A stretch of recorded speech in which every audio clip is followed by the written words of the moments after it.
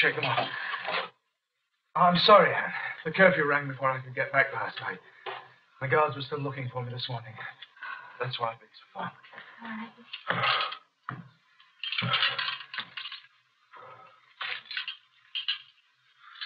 Have you seen Monsieur Muss and given me a message? Oh, yes. The warning was too late. You do now. Go back to your friend, the doctor. I can't. He's dead. Monsieur. I saw his body lying in the street by the abbot's house. Before I could do anything, Roger Colbert saw me and sent the guards after me again. Heaven knows what I do now.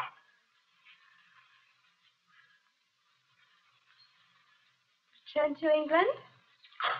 Can't. I've got to find the key to the TARDIS. Monsieur? Oh, the doctor has a special key. Without it, I can't leave. Well, do you know where it is? No. If the doctor had it with him, then I'm lost. I don't have time to look for it. My only hope is that it's still with his own clothes. To the abbot. Oh, no. No, he would have had to change before he went there. The other place I think he's been to is, is the shop. Oh, but we've already searched here, Monsieur, looking for clothes here. And we must do it again. Please help me. Open every cupboard, every box. I must find that key. It may hinder the inquiry into the attempted assassination of de Coligny. Surely the king is insisting that de Coligny is avenged. It is. But by blaming the death of the abbot on the Huguenots, we may be able to cover our tracks. Did the king pay any attention to the abbot's death? I don't know. Fortunately, the admiral himself is helping us. He doesn't want the inquiry yet, so that may give us a little time. Therefore, the Englishman must be caught. And killed. He must not be allowed to get back to the abbot's house. The men are searching Paris for him. He must be found tonight. Tomorrow is St. Bartholomew's Day, and it'll be all too easy for him to evade us in the revelry.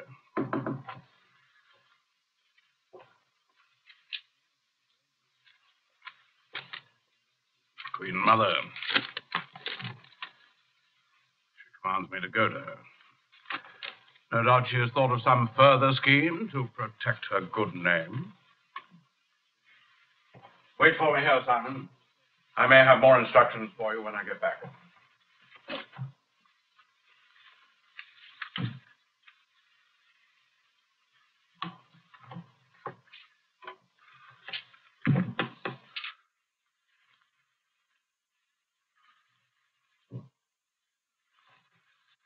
Well, Nothing, Monsieur. There's no sign of your friend's clothes anywhere. it must be. What I found was this. But this is his stick. Your friend? Yes. Well, these clothes must be here somewhere. Where did you find this? In the back, Monsieur. But there are no clothes there.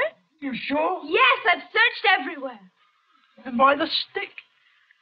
He, he couldn't have pretended to be the abbot dressed as he was. He must have changed somewhere. But where? Perhaps he went away somewhere with the apothecary who used to live here. What, with Preslin? No, he couldn't. Why not? Because Preslin is either dead or in prison. He is not. Doctor! The Catholics will not rest until you are dead. You are too impetuous, Viscount. The king is determined to prevent a further attempt. Why else do you think he put so heavy a guard on this house? A Catholic guard under a Catholic commander. The admiral could hardly be in the care of a greater enemy. He is under the protection of the king and the queen mother. Gaston, tarring the admiral, and doing yourself an injustice. You'd better return to the Louvre. No.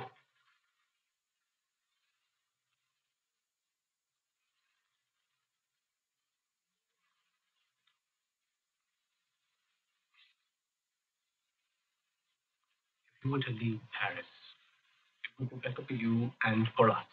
Surgeon said the admiral must not be moved. Then may God protect you.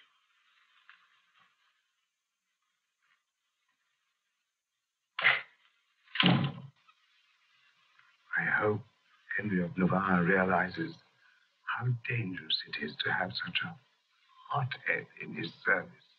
You must be wrong. The commander wouldn't dare to disobey the king after what has happened. Let us hope so.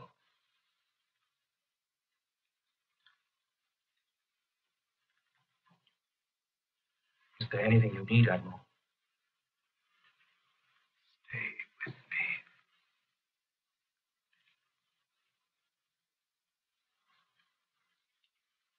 Of course. You must be grateful that the wounds were not poisoned, so that there is no fear of you dying. I do not fear death.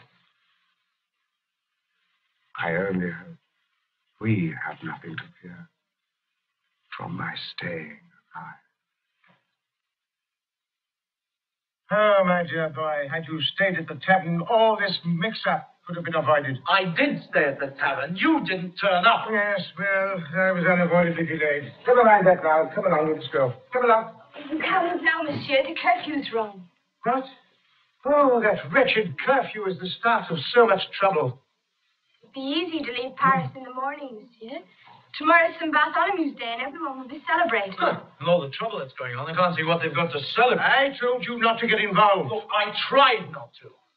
But the abbot did look like you. If I hadn't found out about Admiral de Coligny being the Sea Beggar, then... What's that? I tried to tell you before. Admiral de Coligny is one of the Huguenot leaders. The Catholics tried to shoot him. Did you say tomorrow was St. Bartholomew's Day, child? What year is this, my boy? I don't know what difference does What date is it, child? Date, monsieur? August the 23rd. Is that Yes, yes, yes. I know that. The year, the year. Hmm? 1572, monsieur. But surely you know that. Go home, Anne. You must leave here at once. No, I've got nowhere to go. Where were you working? At the abbot's house. You go back there. I can't. They'll You kill me. You must leave this shop, child. Doctor, what's happened? Oh, please don't interfere. Now, my dear, there must be somewhere you can stay in Paris. No, there's only my aunt's place, and they'll kill me there. Oh, nonsense. Tonight, you will be quite safe. Now, you go carefully through the streets. Hmm? Well, what about the curfew? Well, you've been out of the curfew before, haven't you? But the Well, guards... you know how to avoid the patrols. You go back to your aunt. You'll be quite safe. And you take my advice and stay indoors tomorrow. Now, do you understand? It's too dangerous for you to stay here. Now, off you go, child. Come on. Off, off, off. Oh, doctor, I don't think Ah, you yes, yes, understand. Goodbye, Mr. Stephen. A safe journey. Doctor, I don't think she should go Now, out off you go, my child. Off you go. Bye. Are you sure she'll be all right? The guards are waiting for My her. dear Stephen, the Catholics will have other things on their minds tonight. She will be quite safe. Now then, you and I must leave Paris at once. Come. Oh, doctor, what is going on? There is no time for me to explain. Come along, boy. Come along.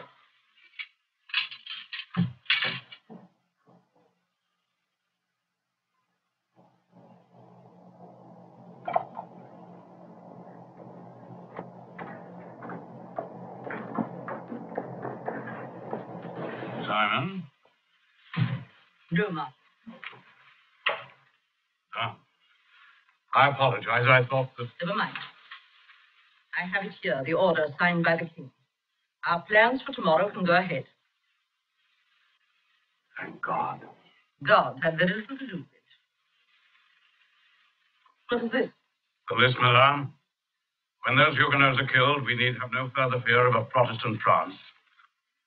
We have no need of lists, Marshal. The good people of Paris know their enemies. They will take care of them.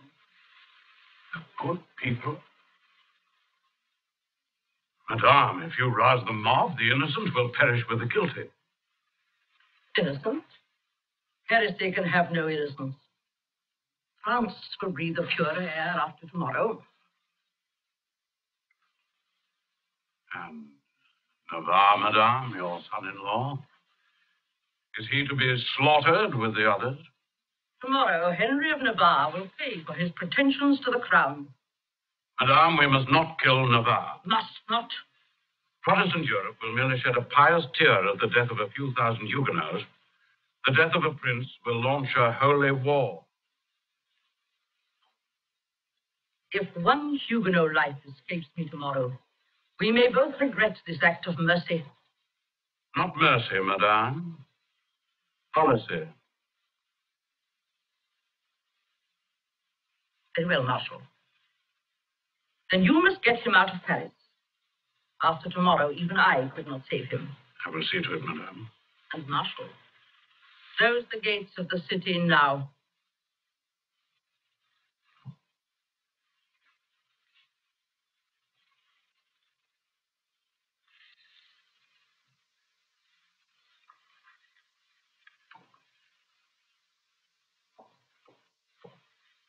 Well, my lord? The order has been given. You may begin. My men are ready. Where's the list? There is no list. But I thought. We are to unleash the wolves of Paris. None out of his path. Even better, my lord. You see, I wonder. And Simon, when you have passed on the order, I have a special charge for you. My lord, Henry of Navarre. I'm to have the honor. Yes, but not of killing him. You will escort him out of Paris. But, my You lord! don't hear me. You will be responsible for his safety. You will have to leave tomorrow's work to others. Now get out.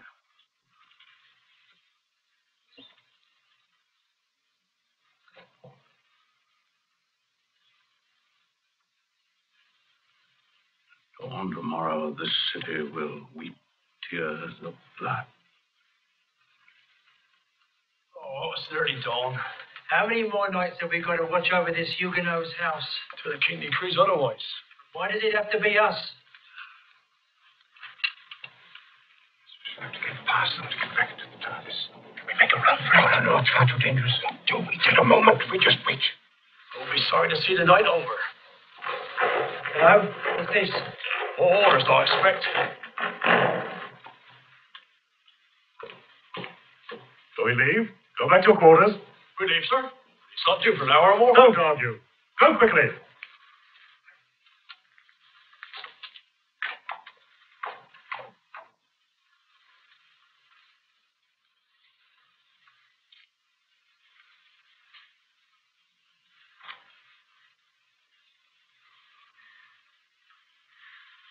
Look, don't go soon, it'll be light. Oh, I know. Just keep quiet.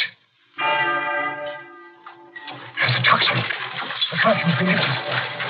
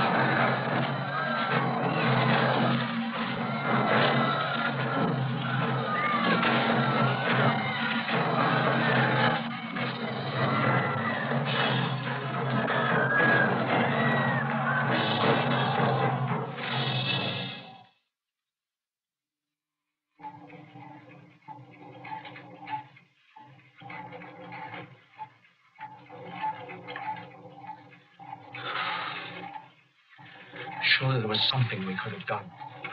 No, nothing. Nothing. In any case, I cannot change the course of history. You know that. The massacre continued for several days in Paris and then spread itself to other parts of France. Oh, the senseless What a terrible page at the past. Did they all die? Yes, most of them. About 10,000 in Paris alone. The Admiral? Nicholas. You had to leave Anne Chaplet there to die. The girl! The girl was with me. If you brought her with her, she needn't have died. But no, you had to leave her there to be slaughtered. Well, it is possible, of course. She didn't die, and I was right to leave her. Possible? How possible? That girl was already hunted by the Catholic Guards. If they killed 10,000, how did they spare her? You don't know, do you? You can't say for certain that you weren't responsible for that girl's death. I was not responsible. Oh, no. You just sent her back to her aunt's house where the guards were waiting to catch her. I tell you this much, Doctor. Wherever this machine of yours lands next, I'm getting off. If your researchers have so little regard for human life, then I want no part of.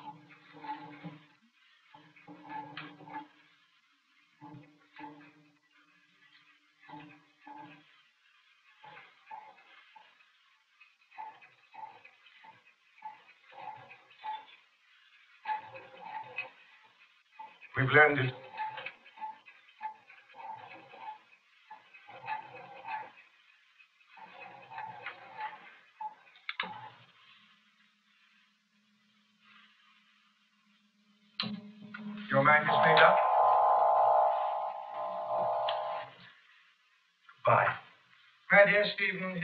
Sometimes gives us a terrible shock. And that is because we don't quite fully understand. Why should we? After all, we're all too small to realize its final pattern. Therefore, don't try and judge it from where you stand. I was right to do as I did. Yes, that I firmly believe.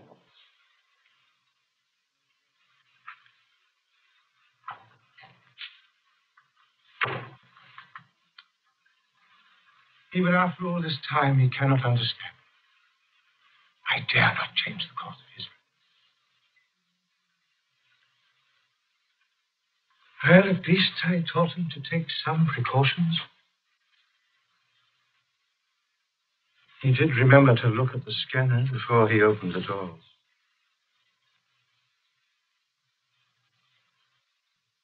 Now, they're all gone. All God. None of them could understand. Not even my little Susan. Or Vicki. And as for Barbara and Chatterton, Chesterton, they were all too impatient to get back to their own time. And now, Steve. Perhaps I should go home. Back to my own planet. But I can't.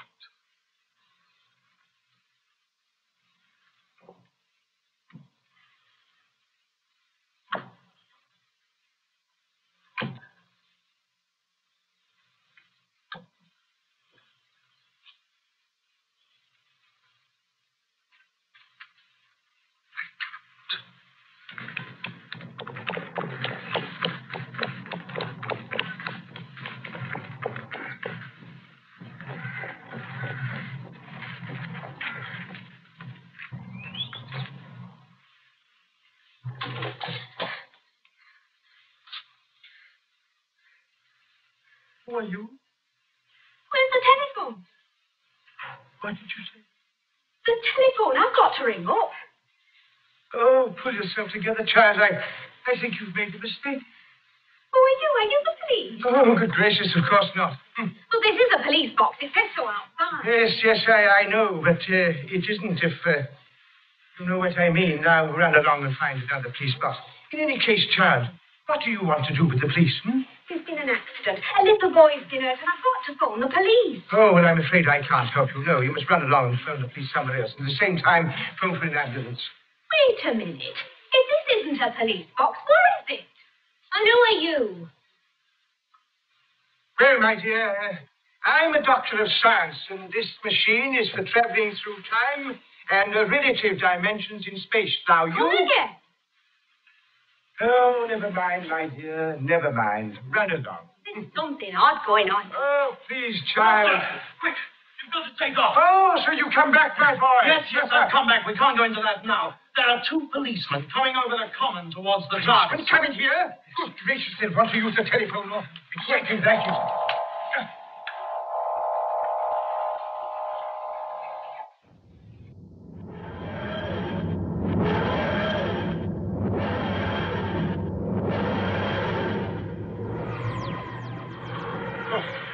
Was close. Well, tell me, young man, what made you change your mind? Hmm? How did you get in here? On me feet, same as you did. Do you realize what's happening? We've taken off. We could land anywhere. We really traveling. Where to? We're traveling in time and space. We're not on Earth anymore. We, we could land anywhere in any age. Tell us another one. Doctor, how could you? What else could I do, dear boy? You don't want a couple of policemen aboard the TARDIS, do you? You know you're the most inconsistent young man. Just now you were telling me off for not having that shuffling girl aboard. Ah, that was different. This is no joyride, you know. You may never get home again. I don't care. What about your parents? I haven't got any. I live with my great aunt, and she won't care if she never sees me again. Uh, uh, you see, all this fuss about nothing. Don't you think she looks rather like my grandchild, Susan? I guess I've never met your granddaughter. Oh, no, no, no, no, no, of course not, no. yes, but she does, you know. What is your name, child? Dodo. What? It's Dorothea, really. Dorothea Chaplet. Chaplain? Yes, but uh, you, you're not French, are you? Don't be daft. My granddad wants to. Doctor, it's not possible, is it? Chaplain and great, great. Yes, yes, it is possible, my boy. Very possible. Welcome aboard the TARDIS, Miss Dorothea Chaplet. Dodo. Oh, my dear, my dear.